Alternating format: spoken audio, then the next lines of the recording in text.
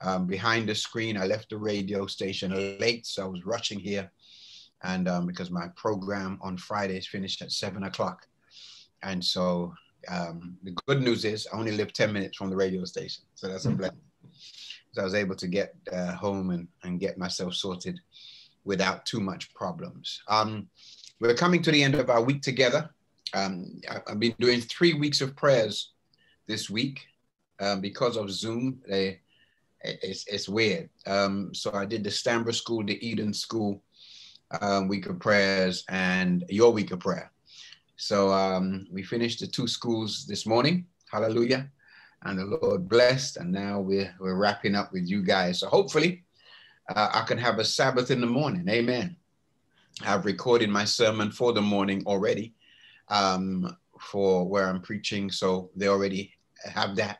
So that's a blessing. They can upload it and and and do it, and I can I can sit back and just enjoy. I may even take a, a bike ride. Um, um, I've got a little bike that I ride around Watford, and um, yeah, yeah, yeah. Go to the park and just sit there and watch the ducks and do all that kind of thing on a Sabbath afternoon before my radio show starts at 5 p.m. If you're doing nothing tomorrow, uh, feel free to come on the radio at uh, 5 p.m. and uh, and tune in and be blessed. We are talking to young people. Funny enough, we're talking to young people, and um, we have um, Nathaniel Messiah, um, um who's got some awesome YouTube videos. I pray for my students all the time um, to motivate them, and then I've got um, from Cornerstone Church and Danielle from Cornerstone Church. And we're talking everything youth. Why youth don't stay in church. Why youth need this. You know, the typical stuff. So we're going to argue with them. I got my points of view. So, um, and uh, tell them how terrible they are and all that kind of stuff. So feel free, five to seven tomorrow on Adventist Radio London. Anyway, let's get into the, the, the message tonight. Um, if you got a Bible with you, let's go to the Word of God. And um, and let's read Joshua. Um, da, da, da, da, I'm looking for the scripture I want to be. Uh, that's where I want to go here. Um, it's Joshua chapter one, and I'm not sure exactly because I have it uh, cut out. I think it's verses six through nine is where I am. Um, Joshua um, chapter one, verses six through nine, and um, and we're dealing with we're dealing tonight with a, a boy, one of my favorite scriptures in the world to speak on. So we're dealing with it. Lord, I will go, strengthen me. Lord, I will go, strengthen me is what we're dealing with tonight. It is our powerful scripture. And um, I hope you're ready to rumble. Um, and, and listen, I notice there's only one person in the chat that's been saying amen. This is my final night with you guys. Amen.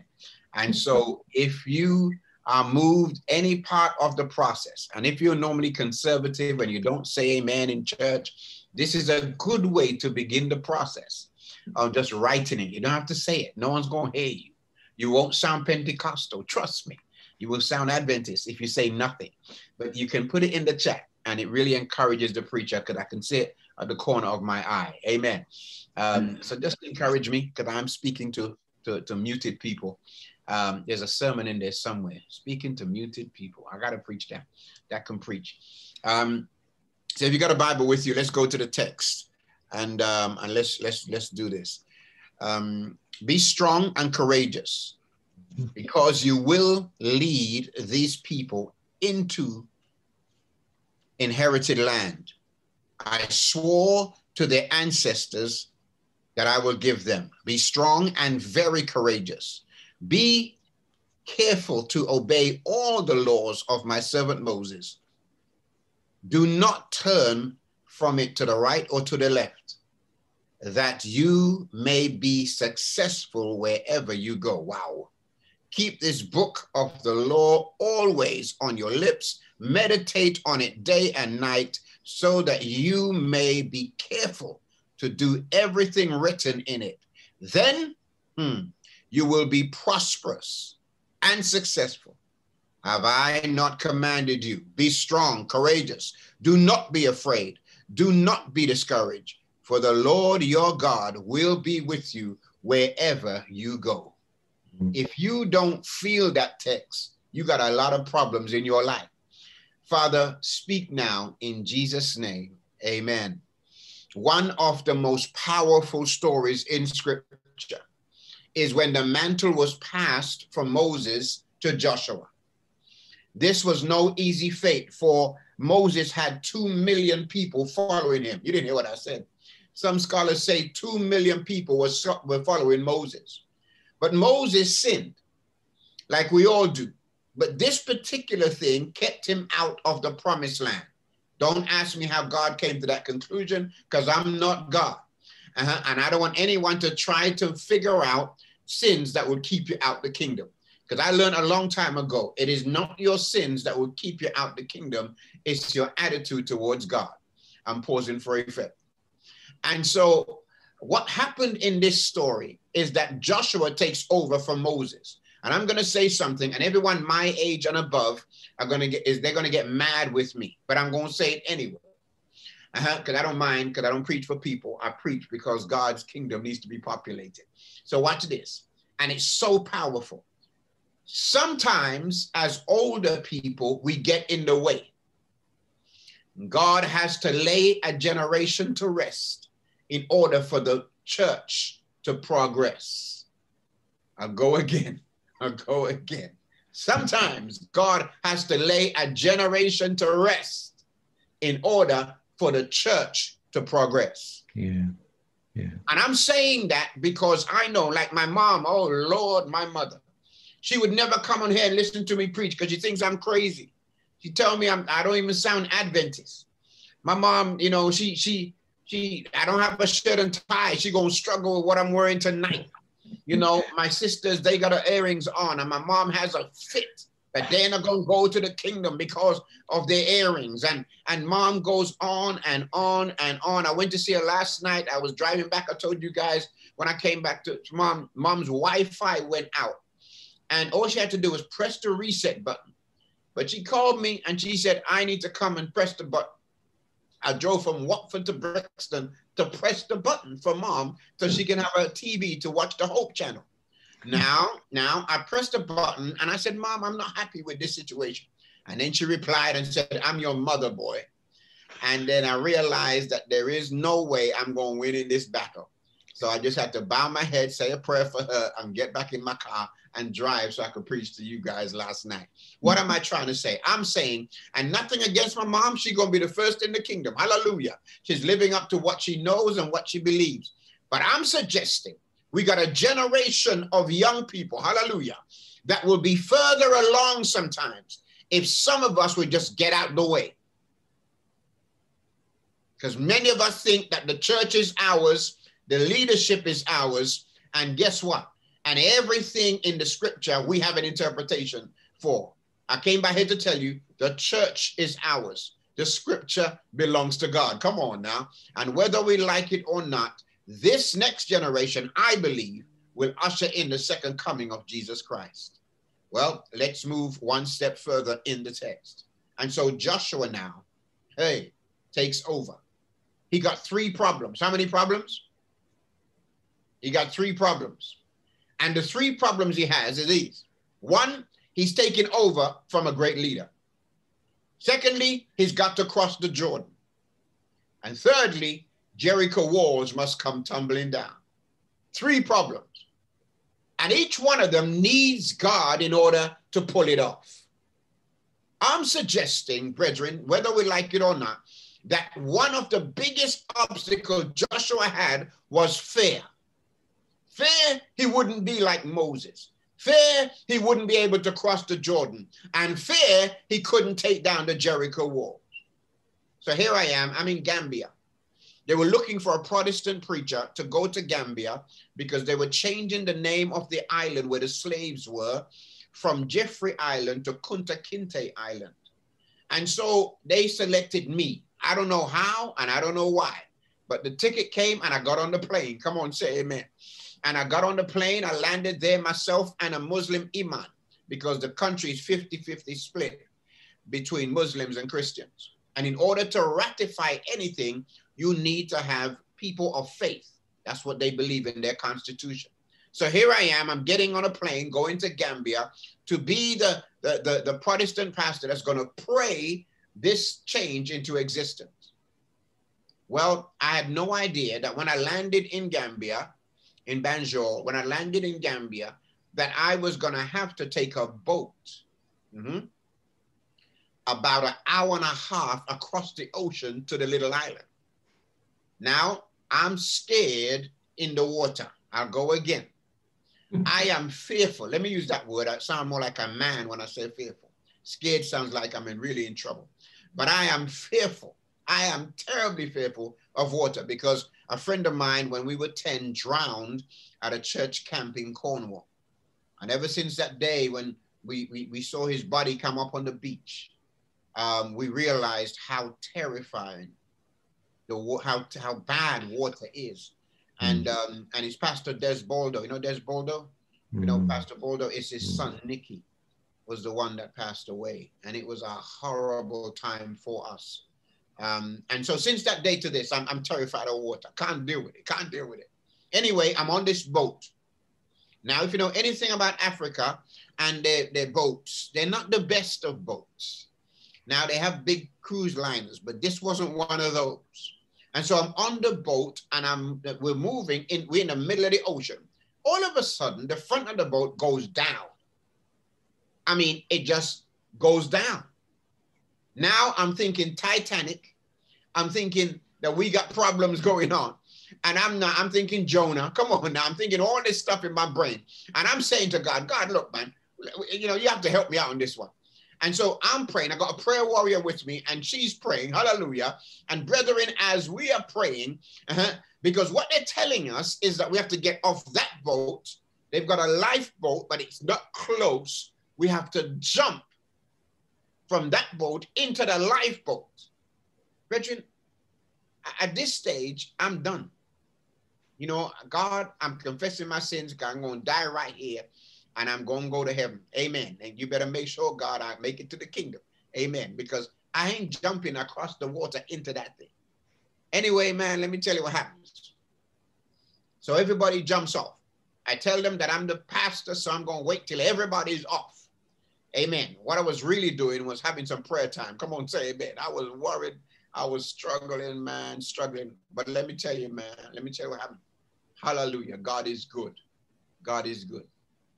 So the prayer warrior jumps and she lands in the boat.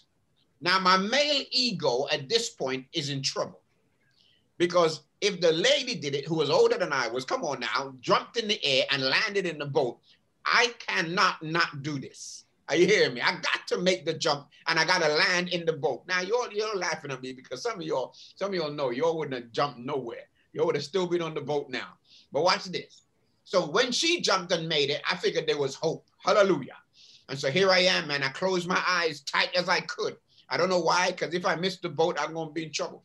But I, I closed my eyes, man, praying all the way. And I'm in midair. And I'm saying, you know what? I don't know if I'm to make this boat. But you know what happened? Praise God. I believe God done took that thing. Come on now. He took me in midair and landed me in the boat. I don't believe I could jump. Brethren, if you know me, I got two flat feet at the best of time. I, I don't I don't do sport well. And let me tell you, man, I landed in the middle of the boat. The people started clapping and cheering. They must have seen fear on my face. I'm suggesting Joshua, one of his problems taking over from Moses was fear. Fear that if Moses struck the rock and he didn't make it, then Joshua made up make it. Fear that the, the, the, the, Jordan, the Jordan would not be parted. And fear that Jericho walls wouldn't come tumbling down. Well, the good news is he took over from Moses and the people liked his leadership. And so now he was trusting God with all his heart and not leaning on his own understanding. And he's making his way. Hallelujah. He's making his way with the people. The Jordan River is ahead. And here comes God in Joshua 1. And God tells him, wherever you plant your foot, you're going to be blessed. Hallelujah. Wherever you put your foot down, there's going to be a blessing. Man, if I was fearful and I heard a word directly from God telling me, just put your foot down and the sea will open, put your foot down down and Jericho will come tumbling down. Man, I will get excited. So Joshua now, like a Pentecostal, gets excited. Gathers all the people together because he hears from God. Hallelujah. He's now on the move. Brethren, let's go. Two million people, mothers and children and dads, everybody moving together. They've got to do it together.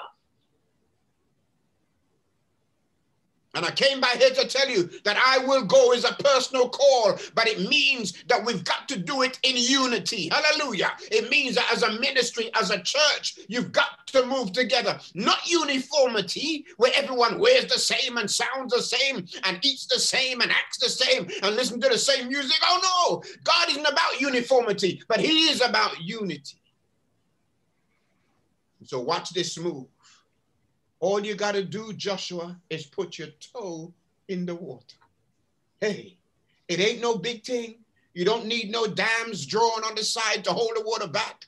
You don't need all kind of man of military people to go in there with sandbags and keep the water away. Oh no, Joshua, all you got to do is put your toe in the water. I came by here to tell Norwich Church tonight, God is waiting for you to put your toe in the water. Come on now. God wants you to put your toe in the waters. Anybody hear me out there? I declare your blessing is right there for you. Hallelujah. Your job is right there. Your education is right there. Your addiction can be broken. Your relationship can be mended. All you've got to do is put your toe in the water. Amen. Boy, I wish someone knew what I just said. It ain't rocket science. Mm. Following Christ is extremely simple. So they put their toe in the water and look what happens. Man, Jordan goes up on the sides and now they got dry land to walk through. Come on now. I declare if Moses parted the Red Sea, then Joshua went one step further and parted the Jordan. Come on. In the middle of the Jordan is the Ark of the Covenant. You hear what I'm saying? Is the Ark of the Covenant. The Ark of the Covenant is right there in the middle of the water, standing there. The Shekinah glory of God is keeping the waters separate. Hallelujah. I've sat on the Jordan River. I've been to Jordan. I've been in a boat on the Jordan River, and I came by here to tell you it is not a trickle trail. Brethren, it is a massive river separating lands and countries, separating nations. I'm talking about the Jordan River. But God was able to part it. Hallelujah. And if you go there today, you will see, hallelujah, in that area, memorials to the fact that they parted the, the Jordan River. God is all powerful. I dare to say amen. They make it through the other side. Well, as you know, the greatest obstacle brings the best blessings. Come on, somebody. The greatest obstacle brings the bless. You ain't had nothing. Come on now. If, if, if, and it's not so much that it's the greatest, it's just that if you're struggling with a particular sin, you're struggling so hard with that sin that you your life is depending on you overcoming it. The moment you overcome it, man, you got a praise party. Come on now. You don't sit down like a lump on a log like some of you all are looking right now. You got a praise party. You know, when God supplies the car, when you didn't have a car, you got a praise party. Come on now. When you go to your bank and you expect to only be paid a thousand, but that week, God, that month, God gave you two, you have a praise party. When you're trying to get through school and your, your, your, your exams are not going well, your modules you're failing, but somehow out of nowhere, you're able to graduate with first class honors. Come on, somebody. I declare tonight that, brethren, it seems like a mountain has been moved and you can't hold back. You're like the lame man in Acts chapter 3 who jumps and praises God because he can't sit down because he was lame and now he walks again. Just before the biggest blessings comes the biggest trials. Watch what happens next. Well, God is about to take them through Jericho. If you know Jericho, you know the walls are wider than our roads. Chariots used to ride around the top. They're high. You can't even see inside of the city. They got all of the military men, the Hittites, and everybody on the inside. But, brethren, God, hallelujah, is stronger than any physical human uh-huh, uh-huh, kind of military force. I wish we'd know that. God is stronger than Boris and everybody else and Trump and Biden and all these mad people. I'm sorry, all of these folk that are out there. God is stronger than every single one of them. I love God. You all love God? I love God. I love God. And so watch this move. It gets so good, man. It gets so good. Hallelujah. Joshua does what every leader should do. When you're faced with an obstacle, one that humanly cannot be dealt with, what you ought to do is walk away from the obstacle or the problem and go and seek God.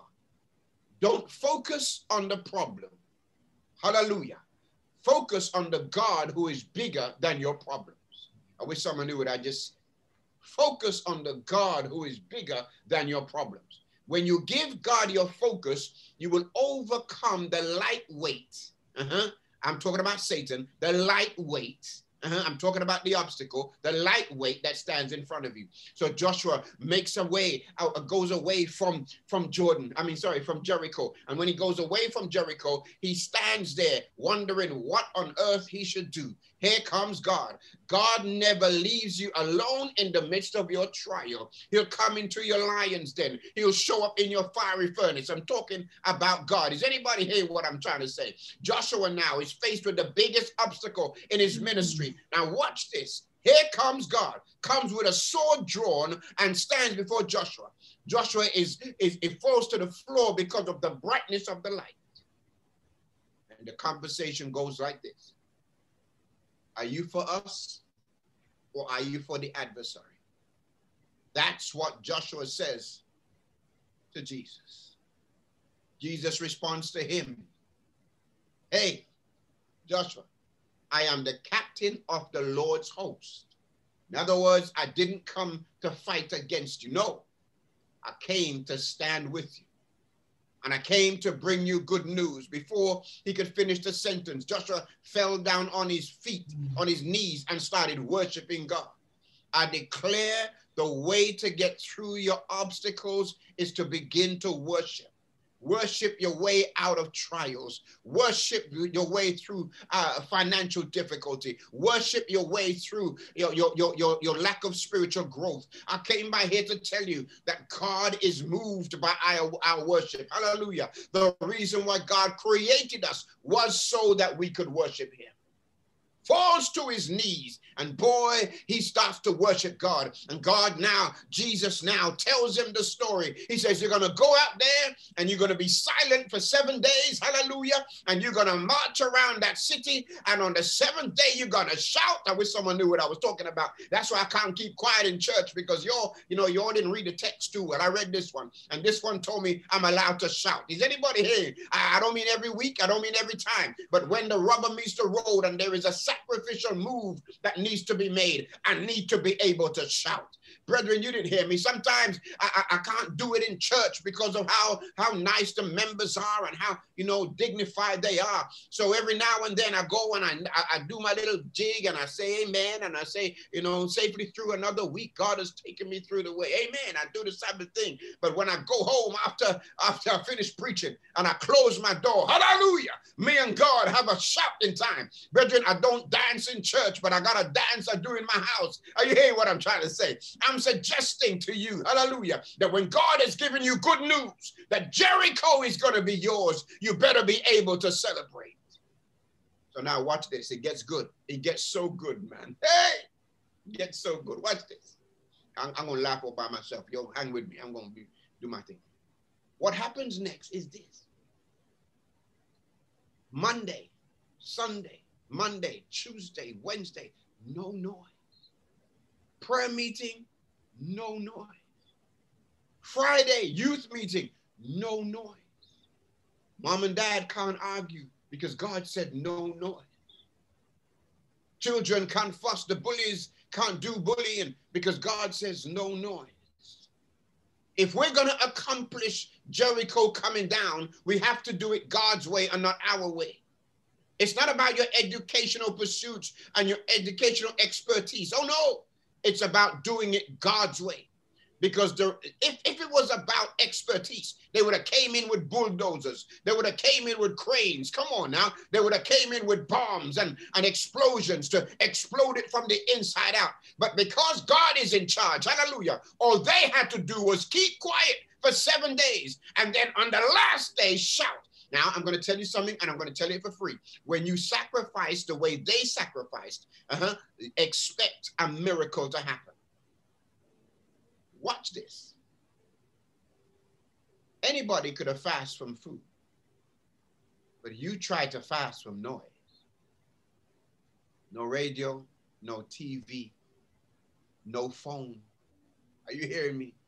No iPad, no Zoom. That's a real sacrifice.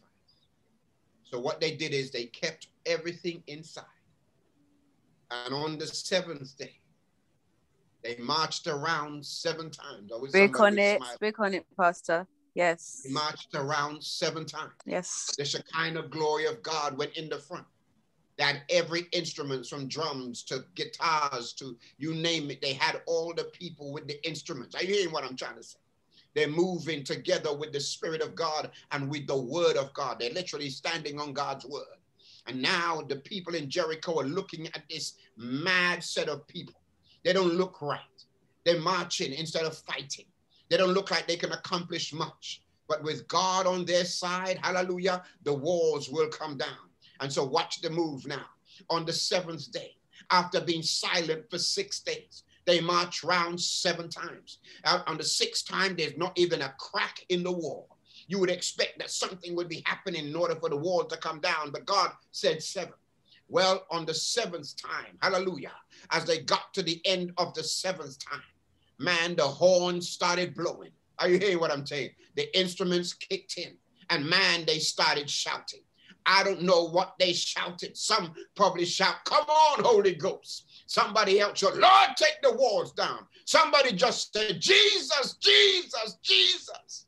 I don't know what they said, but all I know is they shouted. And when they shouted together with one voice, hallelujah, the walls came tumbling down. God, strengthen me and I will go. God, strengthen me to cross the Jordan. Strengthen me to cross the Red Sea. I mean, the Jordan River. Strengthen me that Jericho walls will come, down, come, come tumbling down. Strengthen me so that I'm willing to sacrifice for you. Strengthen me, God. The walls came down. And like it says in Joshua 1, God kept his promise. Hallelujah. They are supposed to be in the promised land, and they got to where God told them they were going to get. The question I have for you is Are you ready to go? Are you ready to go? Or are you just in love where you're at right now? In your nice wilderness experience, where you sit in the wilderness because your forefathers did the same thing. And you don't want to cross the Jordan because it's too complicated and too much work. And you definitely don't want to go through Jericho because the walls look too big. Fear is gripping us as a church and as a nation. People are scared to even go outside, even when lockdown is out, off, because they're scared. This pandemic has now raised a generation of fearful people, fearful to hug, fearful to hold, fearful to smile, fearful to look excited, fearful because they're not sure about what the future has. But, brethren, God hasn't given us a spirit of fear. God has given us, brethren, and let me say this, and I'm done. Perfect love cast away all fear. Where was love made? Love was made at Calvary. All the way to Calvary, he went mm. for me. I declare that the vaccine we need to be getting tonight, hallelujah, should be made in the in the in the incubations, in the annals, in the test tubes of Calvary. Come on now. Amen. Yeah, the blood of Jesus is what's needed because that's where love is shown. Is anybody hear what I'm trying to say? Some of us have gone and got two vaccines right now. Brethren, I wish we would just get the first one. Come on now. The one that was made at Calvary. That one that was made at Calvary. That one that cast away all fear because perfect love cast out all fear. And so I came by here in Norwich to tell you I got the vaccine. Hey, it wasn't done by Oxford and it wasn't done by the other folk. No, this was done by Jesus. I got the vaccine. You want to hear what I'm trying to say? I got the hmm. vaccine and I refuse to operate on fear when God has given me faith. I will go. Strengthen me. I will go. Lead me. I will go. Heal me. I will go. Set me free. Amen. I will go. Forgive me. Mm. I will go. I will go. I will go. The question I have for you is Are you ready to go? Six days we preached. Now the question is Are you ready to watch Jericho walls come tumbling down? Have you got an extra shout in you? I know time is gone, but let me just say this. My mom used to wash my shirts back in the day and they came out with a new detergent, and this detergent was called Shout. Don't know if you heard of it.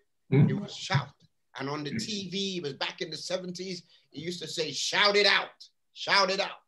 And so my mom, you know, I was one of these crazy people. My school uniform, the shirt used to be real black when I took it off. And mom used to apply shout to that dirt. Come on now, before she put it in the detergent. And man, she used to let it soak in the shout. You hear what I'm trying to say? Used to let it soak in the shout so that the dirt will lift off. Or I wish someone knew what I was saying. So that the dirt would lift off. And then mom would put it down in a in a little Daz. You don't know nothing about Daz. You all know Ariel and Bold and everything. But mm-hmm. now the thing was called Daz, and mom would drop it in the Daz, and then it would spin and it would do all the rest of it. And the roughest spin was the last spin. Come on, now it was the hardest spin. Our whole house would be shaking be with that final spin. The whole thing would be shaking. And then man, when mom took out my shirt and I looked at my shirt, the color was white because mom applied shout. I'm suggesting tonight that therapists tell us that the re- one of the ways to overcome issues in our lives is to shout. When a weightlifter is lifting weights and he gets it to his chest, and sometimes in order to take it to the top, he's got to shout. You hear them grunting, you hear them groaning, you hear them shouting. Ah, they take it higher. I declare tonight that some of God's people have forgotten how to shout. Shout the name of Jesus. Jesus, Jesus, Jesus, yes. like a fragrance yes. after the rain. Kings yes. and kingdoms may all pass away, but mm. there's something about that name. Come Take on. the name of Jesus with you, God of sorrow and of woe. He mm. will joy and comfort mm. give you. Take his name wherever you go. Precious name. Oh, how sweet, sweet. shout in the morning and Amen. shout at Amen. noon and shout in the evening and shout in your car and shout when you're driving and shout when you're at school. When the obstacles get too tough, shout. Cry out to God with a voice of triumph and watch your walls come down. Heads are bowed, your eyes are closed. I'm done. Praise and God. We are thinking about I will go. Somebody in this room tonight, the Zoom thing, Lord, they need to accept you. And so tonight, if you are struggling with your spiritual life, or if you've never accepted Christ, and you want to say, Preacher, pray for me. I need to learn how to shout again, or I need to learn how to shout. I need my Jordan River parted. I need my Jericho wall come tumbling down. If that is you, I'm going to ask you to raise your hand in the chat right now. Raise your hand, go to participation and raise your hand and put it on your screen right now. Right now. You're saying, I've never accepted Christ, or I have, but my spiritual life isn't where it should be. And I really want to learn more about God and I want to accept Christ into my life in a deeper way. If that is you, put that hand in the chat. Heavenly Father, you've seen the hands that were raised. The hands are telling us and telling you that there is work to do. The week of prayer is over, but there's work to do. The good news is, Lord, is that you are willing to do the work with us and for us. All we've got to do is to surrender our all to you. So, Lord, be with those that have raised their hands. Then there may be those that have Jordan rivers in front of them. The week ahead is not good. Relationships are in a bad way.